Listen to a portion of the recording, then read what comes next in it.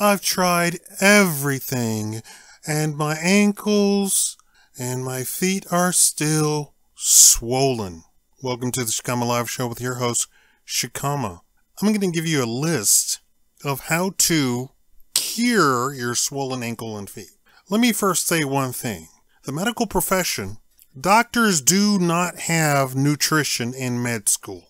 They have one day of nutrition in three years of med school. That's right. They have one day of nutrition and three years of med school. The business model for Western medicine, medicine in the United States, is not to cure you. The business model in Western medicine is to treat you. They're not interested in curing you because if they cure you, you do not come back. If they treat your symptoms, you come back for more treatments. They're just treating symptoms. They do not care to cure you. That's that is not their business. Now, let me say right off the top, I am not a doctor, but I am entertaining. And this is all just for entertainment purposes only. Your feet are swollen, your ankles are swollen. You've tried everything, right? And they're still swollen. Well, Shakaama has the answer for you. Shakaama does such weird stuff as goes and reads medical studies. And they don't have pictures on those medical studies. They don't even have charts. They don't even have lists. Shakaama makes the list. Shakaama makes the charts for, for stuff that, that Shakaama has the pictures to make stuff interesting. I'm going to think that you actually do not want to know the cure for the swollen feet and ankles. Why don't you want it? Because what I'm about to tell you is going to be hard. And uh, what I'm about to tell you is going to take effort. And what am I going to, uh, what am I about to tell you? It doesn't come in a pill. The whole idea of a pill is that it works instantaneously. It's not, it doesn't cure you, but it treats you. And the treatment cures your symptom immediately. Well, it just so happens for the swollen feet and swollen ankles, the treatment that you get from your doctor doesn't uh, cure you cure the, the uh, symptom immediately. In fact, I don't know why you keep going to the doctor if he you he keeps prescribing you these pills that are supposed to treat something, but they don't actually treat anything. What's the definition of insanity? Doing the same thing over and over again, expecting a different result. Why are your feet and ankles swollen? Your body's trying to tell you something. It's, it's not just that's what happens. No, your body is trying to tell you something. That's why we get bigger. That's why we swell up, right? If you have an allergic reaction to something and you swell up, uh, you know, you as a, uh, some of you are parents, right? If your kid swells up all of a sudden, you go, "Oh my God, something is wrong." My kid's eye swelled up. My kid's uh, jaw swelled up. My, my kid's tongue swelled up, right? You go, "Oh my God, something's wrong." But for some for some reason, people see swollen ankles and feet and they say, "Oh no." Well, I guess I'll just mosey on over to the doctor because absolutely nothing is wrong. But I just, I want to st- uh, still wear my nice pedicure. So I better go mosey over to the doctor. You tried going vegetarian and even shamed other people who were not vegetarian because you were convinced vegetarian would make your feet and ankles go down. Meanwhile, the swell- swelling did not go down. You then got super serious and you went vegan. The feet and ankles didn't go down either. Still didn't go down. Okay, now, okay, okay, okay, okay. You still look like you were walking on loaves of bread. So then you said, okay, enough is enough. I am going to go raw vegan. I'm super serious. Well, you grew through whiskers, but your feet didn't swell, stop swelling. Your ankles did not stop swelling. And you look like you were walking on bowling balls at this time. That is not. I saw a lady who actually gave a TED talk. And here's the deal The TED Talk people did not show her video on the TED Talk channel, on the TED Talk website. Why did, do you think that they did not show her video on the TED Talk channel and the TED Talk uh, website? Because she said that she discovered the reason why her feet and her ankles were swollen were not from something she thought was cured by being a vegetarian, being a vegan, being a raw vegan. She tried all of that and the swelling did not go down. She said when she went full carnivore, strict carnivore, all of her symptoms of everything that she was allergic to, that she was having all these reactions to, all stopped because she, she didn't go carnivore, full carnivore at first. She, she thought maybe she could just introduce meat and then the st- stuff would go away. No, didn't go away. So then when she went full carnivore, everything went away. That video never made it to the TED YouTube channel nor onto the TED website properly. Why? I, I, I mean, I don't know about you, but I, I'm pretty sure carnivore is not in the mainstream. I, I don't believe it's on the six o'clock news. I know you have videos here on YouTube, but it is not mainstream. You know what is mainstream? Talking about being vegetarian and vegan. So if a person says, you know what, I tried vegetarian, I tried vegan, and all of these specific health issues that I had did not change at all. And I went full strict raw vegan and it didn't change. Did not change. But once I got into the camp of full carnivore, all of that changed. And in fact, everything that I had even uh, had a problem with changed. Stuff that I didn't even that I took for granted that that's just how I, I function. A lot of people think, you know, like they walk funny or they uh, slur some words or they always itch their ear or they itch their nose or they uh, make their tongue uh, that sucking noise and they have stick their tongue at the top of the roof of their mouth and they itch they try and itch or what feels like the inside of their brain and they just think that that's something that they no those are all allergic reactions. So she had all of these allergic reactions that were going on that she just thought were just a part of life and then when she went on full strict carnivore all of that stopped she got a full night's sleep. S- swelling went down. Hair grew out. Whiskers vanished on her face. Feet stopped swelling. Ankles stopped swelling. N- knee joints all stopped. All the knee joints stopped. She, she thought that's just how she's made. That her, her wrist and her elbows and her shoulders just are supposed to look like that. No, when she went on strict carnivore, that all disappeared.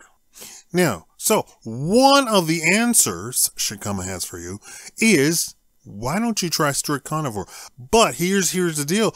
You probably have never gone carnivore. So what I say is why don't you test it out and you're going to build it up to seven days, right? So you're going to have one day a week carnivore, strict carnivore, two days, three, four, five, six, seven, right? And you're going to build up to that. And what's going to happen is you should see results of, you should see results immediately. Why? Because you probably have a terrible diet. You're probably eating stuff that does not agree with you, but you just don't even know that it doesn't agree with you. You just thought you're supposed to be, you know, walking around burping and stuff like that, right?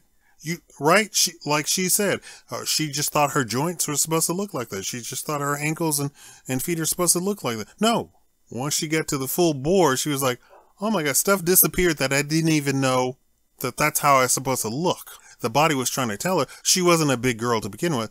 Uh, her body was trying to tell her, no, you're not. So the, we, we swelled up. That's, that's our indication that something's wrong. And people don't take the hint that that's something wrong. So carnivore is one. I say build up to it. Uh, one day, maybe skip, maybe skip a couple of days, but the thing is, you don't want to be strict carnivore one day and then eat donuts the next day. So that's point number two. A lot of stuff is caused by carbohydrates. And here is some misinformation that is out there that carbohydrates are a macronutrient that you need. A lot of bro science, a lot of bodybuilders, a lot of weightlifters are in this camp that they feel that you should have carbohydrates. No, what's happening is, uh, first of all, it's a, uh, bodybuilders have a terrible diet. I know they looked like they should be the peak of physical conditioning, but that's not so what's happening. They are doing st- stuff like eating carbohydrates, and the muscles really like the carbohydrates at the time, and it's temporary. So then they go and lift weights and they get bigger because that temporary uh, fix for the muscle is right there, is right there and present, right? It's, it's sort of like the doctor giving a pill. Uh, but long term, you end up with, uh, you know, Arnold Schwarzenegger giving talks about, uh, look at the guys today. They have these huge stomachs because they eat horribly. Talking about the bodybuilders, right? There's also this other misinformation that salt will make your feet and ankles swell. Why is that mis- uh, misinformation, Shakaama? Because what they're talking about and what the technical reality is, they're talking about two different things. It's just the same sort of thing about people talking about fat is bad for you, saturated fat is bad for you. That is misinformation. Saturated fat is not bad for you. The best possible thing that you can eat. We're talking coconuts, we're talking avocados, we're talking about certain nuts. We're talking grass fed beef. We're talking clover grazed beef, free range chicken that eats all of the nice stuff that's uh, in in the uh, free range of, of of the farm and the and the pastures saturated the fat, saturated fat that you get from that will build your body and make you live a very long time. Saturated fat. But they are stuck in this world of saturated fat. Salt. Bad for you. No. Saturated fat is not bad for you. Hydrogenated saturated fat is bad for you. Refined table salt is bad for you a fully mineralized sea salt is fantastic for you and it is an essential component for life. You know what, what is not an essential component for life? Ingesting carbohydrates. Why? Because the body actually transforms proteins into carbohydrates. The body does that. So if the body does that, that is by definition, not an essential vitamin. An essential vitamin is something that the body does not produce. Have you ever been told that you do not actually need a calcium pill? Why? Because the body produces calcium all by itself. You do not need calcium. What you do need is vitamin D3 to process the calcium if you had a fantastic intake of, of perfect vitamin D3, you would process all the calcium that your body produces perfectly, right? You don't need to ingest donuts. You don't need to ingest Subway uh, loaves of bread from Subway sandwiches. You need to get off the carbohydrates. There are people who have been strict carnivores for over a decade. Strict, meaning all of their intake is water, salt, and meat. All of it. And they are, all of their uh, testing, their blood tests, all of their medical tests are perfect. Why are they perfect? Because they're eating the pristine grass fed beef, liver, organ meats, all of that stuff that is packed full of vitamins. It is packed full of vitamins and it's not only vitamin dense or nutrient dense, you do not need an entire bushel of it. The problem with vegetarian and vegan is now we're discovering discovering that plants do not want to be eaten. So they produce a lot of uh, uh, neurotoxins, nutrient toxins, antitoxins, antivitamins, so that when you eat the plant, not only does it stop you from ingesting and processing the nutrients in the plant that you ate, such as spinach, raw spinach. It will also stop stop you from processing the nutrition from everything else that comes behind it until such time as you uh, waste that out of your body, get it out of your body. That's plants, and they're discovering that almost all plants have that. And if you keep ingesting the plants, you get worse and worse and worse. This is why you see the very strict vegans that are super thin and then they uh, develop wasting disease, wasting muscle disease. And that is irreparable. You can't come back from that. And you have uh, them all dying of the C word. But the propaganda is that they do not die from the C word. But they do. They actually do more so than the people who have a regular American diet. We're not even talking about the carnivore people, the people with a regular American diet. They are worse off than the people with a regular American diet. But the propaganda says that they don't. But the people who have actually done research said a couple of things. First of all, it's very hard to find somebody who actually is a strict vegetarian, a strict vegan. And uh, the interpretation of vegetarian or vegan also includes a lot of donuts, cakes, candies, stuff like that, right? A lot of sugar, a lot of sugar intake. Why? Because uh, a lot of their food is not very tasty. You can eat a steak and not want anything else. If you eat a veggie burger, you're probably going to want some, some, something else afterwards. I'm not trying to be funny here. Now, so, uh, point number two and three, don't need carbs. You do not need carbs. Your body produces carbs. Go look that up. Uh, number two, you need salt. But you need good salt. You don't need table salt. Stop letting doctors tell you that salt is bad for you. Salt is essential for you. You need salt. You need good salt. You do not need refined table salt. I don't even know why they would make refined table salt. I don't, I don't know. They, they actually go through all this process to make something from something else that requires energy, time, and money to produce something that's actually not good for you when they can literally just transport something, package it, and, and, and deliver it to you. No processing needed. Maybe some filtration, but no processing needed. But that's that's our food industry. There's a lot, whole lot of stuff like that. Now, so you're you're you're taking the good salt. Uh, you are lowering, almost zeroing out your carb intake. Right? Okay. Now we're getting down to the nitty gritty. What is the uh, S level, the the top tier way to actually get rid of the swollen ankles and feet? It's along the lines of that whole impact of one meal a day. What they are actually saying is we want to reduce your eating time to six hours, then four hours, then two hours, then one actual one meal a day. And you can pig out, meaning that you can eat a lot in that one meal.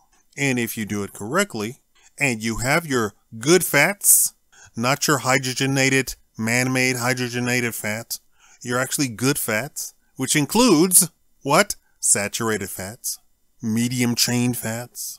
You will be full the entire day. You know what your brain actually subsists off? Fat. You know what your heart actually subsists off of? Fat. You know what your arteries and veins and circulatory system, uh, uh, vascular system actually uh, subsists off of? Fat.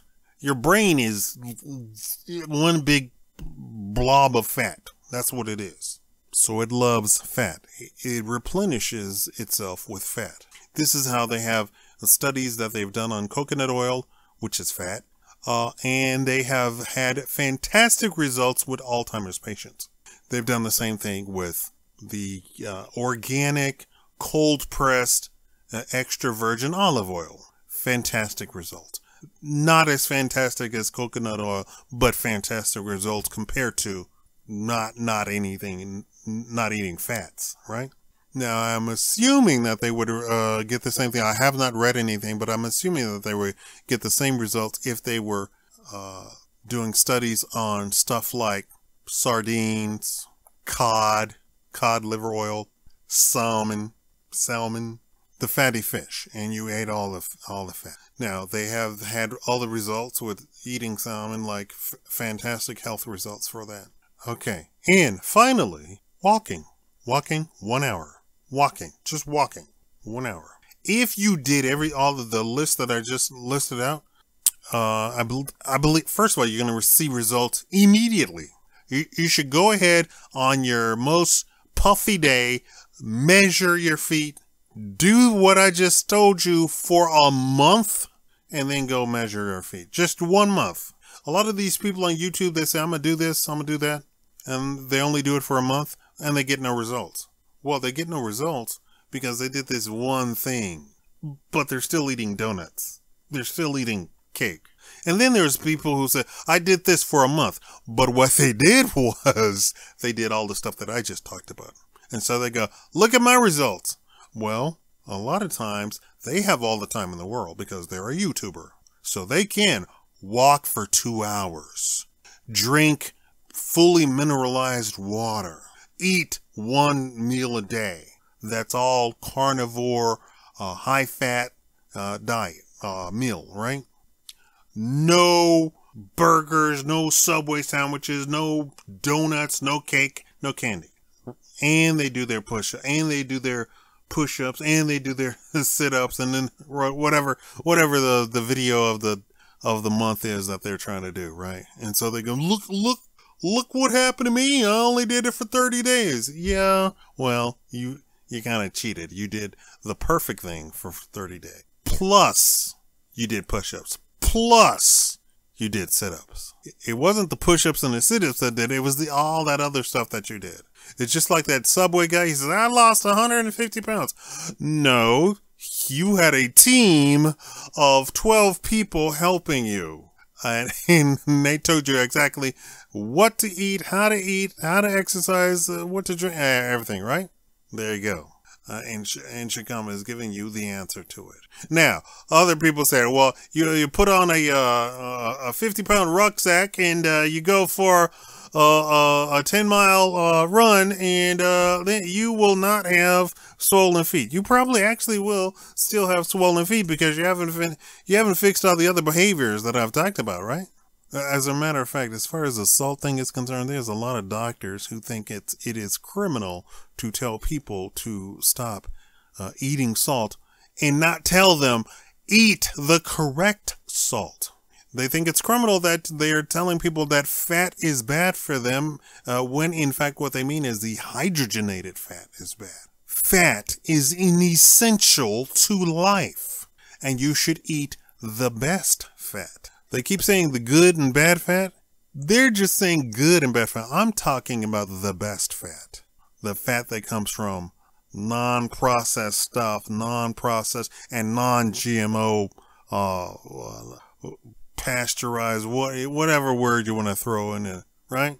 Thank you all for watching, and uh, I hope this video has been entertaining for you.